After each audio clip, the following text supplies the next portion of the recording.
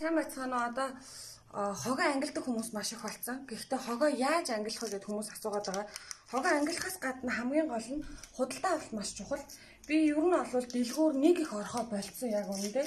Тэгээ нэг орхотоо бол ингээд баг хэмжээнд өөрсдийнхөө одоо хоол хүнсний зүйлсийг авчдаг. За яг одоо би сая дэлгүүр орчод ирсэн байхгүй юу? Дэлгүүр орохдоо ихэнх бүтээгдэхүүнийг яадаг вэ гэхлээр өөрийнхөө савтай, өөрийнхөө гэлхөрөттэй, өөрийнхөө ууттай очиж авдаг. За сая бол ийм ат орсон. Ийм ат ороход би нийтдээ 14 төрлийн хүнсний бүтээгдэхүүн авсан байна. Хүнсний бүтээ 14 төрлийн хүнсний бүтээгдэхүүн маань энэ дундаас энэ хэд буюу энэ хэдийг бол яалтчгүй одоо гэлхор уттайгаа сав баглаа бодолтой. Тэгээ ийм учраас энэ хэдийг бол ингээд авчлаа. Гэхдээ энэ гэлхоруудыг дахиж ашиглана. Энэ гэлхоруудыг бас яах уу угаагаад дахин боловсруулах руу явуулна. Энийг ч гэсэн муу адил. А энэ тос болохоор сүүлд би нэг энийг авсан жайгуу дажгүй санагдаад авсан байгаа. Надаа энэ шил нь бас хадгалагдаад байгаа. Ийм ад чинь бас сүүл рүүгээ нөө нэг дахин боловсруулах чиг рүү хогоо ангилахад бас нэлээд анхаарат байгаа учраас магадгүй энэ шилээ авах гэж удаад найдаад авсан. За тэгээд ингээл энэ болохоор лир гоц лир өөрийнхөө ууттай очиж авсан. Мандарина бас өөрийнхөө ууттай очиж авсан.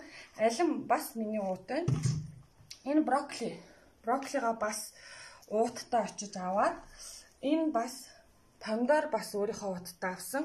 Энд болохоор би нилээ их бууцаа авсан. Энэ нэг бууцаатай банш хийх гэж бууцаа авсан. Энийг нэг хажууханд байгаа ил ногооны тал газар байгаа шүү дээ. Тинчээс очиад авсан. Намар тэгээд үнэхээр гол Монголд маань хамгийн гоё юм нь болохоор ингээ шив шин ногоо хөрсөн дурсан ногоонуудыг шууд авах боломжтой. Энд болохоор миний нөө юу вэ? Нүхтүүлээ тарус байна. Энэ болохоор бас ингээд чинжүү. Ер нь бол аль болох бүтээгдэхүүнийг ингээд өөрийнхөө одоо ууттай нэгдүгээрт авна, хоёрдугаарт а багаар авна. Ихээр авах юм бол бас ингээ муутах гэдэг талтай учраас би нэг их ихээр авдаггүй. Өнөөдөр компот хийх гэж байгаа учраас ингээд нэлээд олон алим жимсүүд авчихсан байгаа. Тэгээд нийт 14 төрлийн бараа бүтээгдэхүүн авлаа гэхэд надаас хог хаягдл гэвэл а энэ эдгээр гарах магадлалтай гэсэн үг шүү дээ. Гэхдээ би энийг мэдээж цэвэрлээд галгар уутныхаа давхрын хэсэгт хийх учраас надаас энэ хог гарахгүй гэсэн. Нийт 14 төрлийн бүтээгдэхүүн авлаа. Бүгдээрээ одоо хог гарахгүй. За энэ нойлын цаас бас сүүлийн үед бас нэлээд миний хувьд асуудал болоод байсан. Нойлын цаасыг ер нь бараа бүтээгдэхүүн авахтаа ихээр нь авчих юм бол мэдээж хогных гарна тий сав баглаа боотлын хог их гарна. Тэгээд энэ нойлын цаасан дээр дандаа нүг голтой байгаад байдаг манайхан чинь. Тэгээд бас гадуур нь баахан гялгар уудтай. Тэгээд би аль болох хог баг гаргахын тулд энэ сүүл энэ green leaf хийхийг сонглоо. Энэ болохоор голгүй байгааз. Тэгээ голгүй ийм том.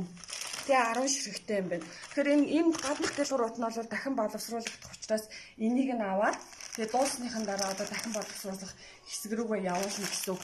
Тэгэхээр англилт хийх гэж байгаа тохиолдолд хамгийн гол нь та нар маань яах ёстой вэ гэвэл бараа бүтээгдэхүүн авахдаа маш сайхан одоо гам ганган чамин боо сав баглаа боодолтойг юм биш аль болох сав баглаа боодол багтайг нь сонгох хэрэгтэй.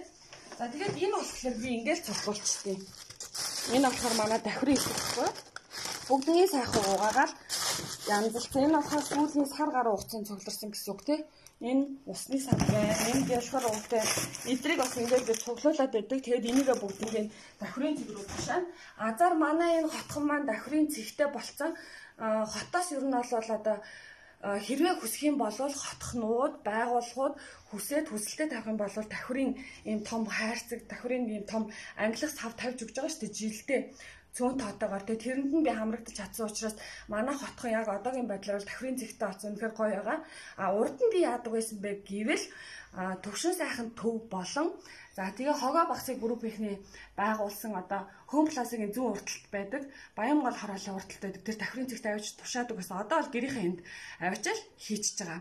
Аа тэгээд бас нэг хэрвээ ингээ сайхан ангилчих юм бол та нар маань яах яах боломжтой вэ гэвэл хогоо багцыг группийнхэн бас нэг ажил томоохон ажил санаачилсан нь зарцаа ногоо ингээд үйлчилгээ байгаа. Хэрвээ та нар маань сайхан ингээд англиад цэвэрлээд тавьчих юм бол зарцаа ногооныхыг дуудаад тэгээд авчиж олон зарцаа ногооныхон үйлчилгээний нэг 5000 төгрөг гэлүүдээ авдаг гэсэн.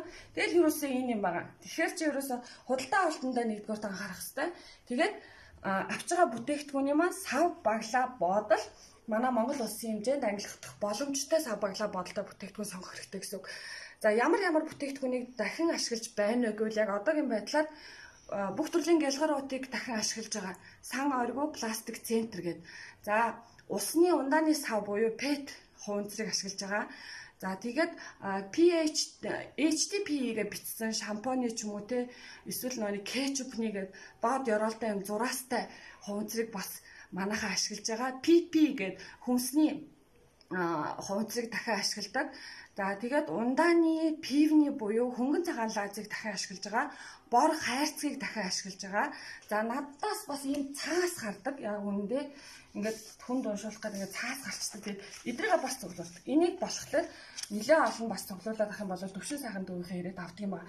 Тэгэхээр та нар маань одоо юу юу дахин ашиглаж болох вэ? Дахин манай улсын хэмжээнд боловсруулж болдог вэ гэдгийг өнөөдрийн дижнээс тавчхан ч гэсэн мэдэж авсан юм чинь энэ хэмжээнд өнөөдөр авсан мэдээллийнхаа хэмжээнд хэрвээ ангилж эхлэх гэж байгаа бол ингээд ангиллаад эхэлчих болно гэсэн үг. За баярлалаа.